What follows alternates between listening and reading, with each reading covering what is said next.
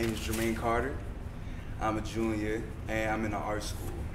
One day, I was walking through my favorite store, Michael's.